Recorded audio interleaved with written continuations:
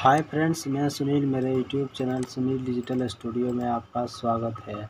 सो so friends आज की इस वीडियोज़ में बहुत ही कम प्राइस में हाई क्वालिटी का पीवीसी कार्ड बन रहा है फ्रेंड्स पीवीसी कार्ड बनाने के लिए फ्रेंड्स आपके पास एक कंप्यूटर या लैपटॉप होना चाहिए और कलर इंकजेट प्रिंटर एक होना चाहिए फ्रेंड्स उसके बाद आप आसानी से ये पी कार्ड बना सकते सो फ्रेंड्स इस प्रोसेस को स्टार्ट करते हैं। स्टार्ट करने के लिए फ्रेंड्स आपको फ़ोटोशॉप ओपन कर लेना है।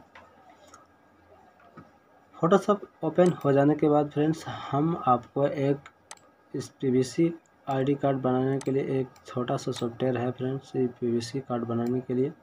तो इसको ओपन करेंगे।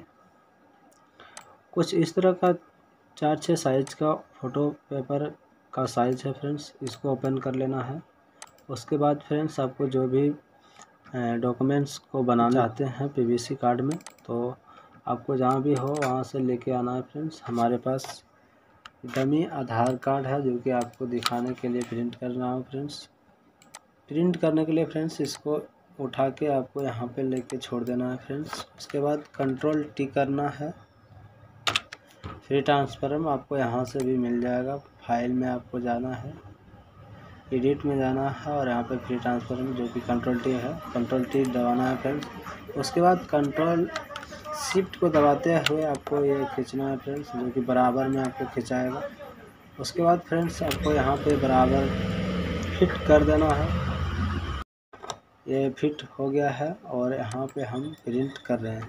कंट्रोल टी दबाना है फ्रेंड्स नॉर्मली जिस तरह आप फ़ोटो को प्रिंट करते हैं हमारे पास L eight zero five printer है तो हम इसको सिलेक्ट करते हैं और पेज सेटअप में क्लिक करते हैं फ्रेंड्स यहाँ पर कुछ नहीं करना है आपको। और सिर्फ़ यहाँ पे आप मेरा जो पेपर है पेपर साइज़ चार छः साइज़ है तो हम इसको चार छः साइज़ में बदल देते हैं फ्रेंड्स और इधर जो भी सेटिंग है सेम ही रहने देना है और ओके कर देना है फ्रेंड्स यहाँ पे हम ओके करते हैं और प्रोसेड पर क्लिक करते हैं।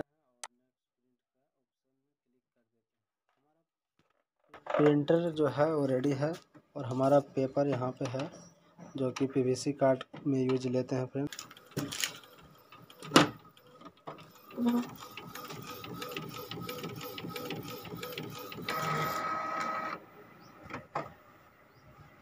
तो सो फ्रेंड्स हमारा जो कार्ड है वो आगे की तरफ़ से प्रिंट हो गया है। आप देख सकते हैं हमारा जो कार्ड है, आगे साइड प्रिंट हो गया है। अब हम पीछे साइड में प्रिंट करेंगे तो ये जो पेपर है, ये two side printer print paper है।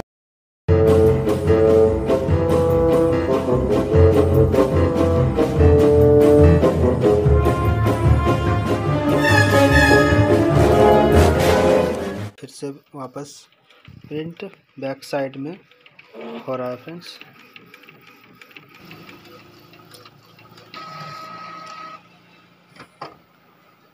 सो फ्रेंड्स बहुत ही हाई क्वालिटी में और बहुत ही कम समय में मेरा प्रिंट होके रेडी हो गया है फ्रेंड्स आप देख सकते हैं इस इस पेपर पे दोनों साइड दोनों साइड में प्रिंट हो चुका है, जो कि वन साइड और टू साइड में प्रिंट होके मेरा रेडी है। और अब हम इसको आगे प्रोसेस में लेके जाता हूँ। इस पेपर को साइज़ में कटिंग कर देना है फ्रेंड्स हम आपको कटिंग करके दिखाते हैं कटिंग कर देना है फ्रेंड्स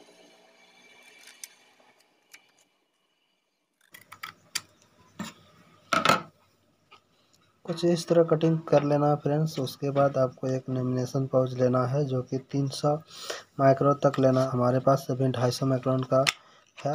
आपके पास 300 माइक्रोन का आप लेंगे तो बहुत ही अच्छा कार्ड बनेगा फ्रेंड्स। आगे मैं 300 माइक्रोन का इसमें यूज़ करने वाला हूँ फ्रेंड्स, जो कि बेहतरीन मोटापा और बेहतरीन कार्ड बनता है फ्रेंड्स। तो इसमें हम इस तरह फिट कर लेते हैं।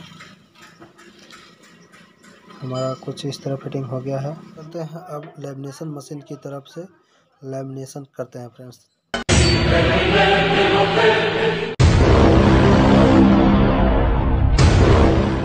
लेमिनेशन होकर रेडी हो गया है। और तो इसको कैंची से आपको काट लेना है फ्रेंड्स जो कि हम इसमें बॉर्डर लगा दिए हैं। इस बॉर्डर के बॉर्डर जो है फ्रेंड्स इसके अंदर ही कटिंग करेंगे, जो कि बॉर्डर कट के बाहर चले जाए। तो इसको कटिंग करते हैं।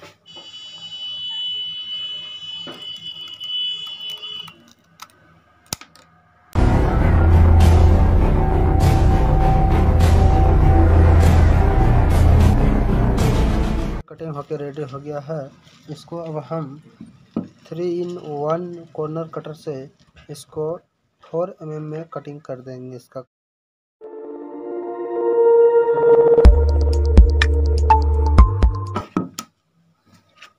तो हमारा आधार कार्ड जो है सब पी कार्ड में बन के रेडी हो गया फ्रेंड्स। ये इसको पानी में या किसी में या दाग उग में कुछ नहीं होता है फ्रेंड्स। ये बहुत ही बेहतरीन कार्ड बन के रेडी हो गया है।